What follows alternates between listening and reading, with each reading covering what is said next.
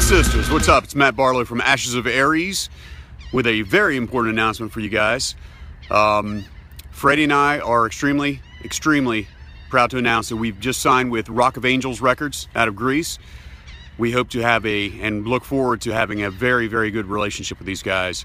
Um, it's it's very exciting for us. Uh, we're switching record, record labels, but I think that these guys are going to do uh, wonderful things for us for the second record coming from Ashes of So uh, just a couple things, quick uh, quick little things. Freddie and I have been working on these songs for a while now. Um, we've been tweaking them out. We've been uh, working on some special things like a, uh, a trilogy uh, that we will have uh, within the record.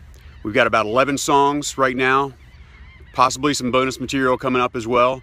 So um, just be on the lookout, man. Again, uh, we couldn't be happier. Um, extremely excited about about delivering you guys a record this year, and it will be out uh, this year. So just uh, keep an eye out. We'll definitely be making some more announcements uh, from the studio.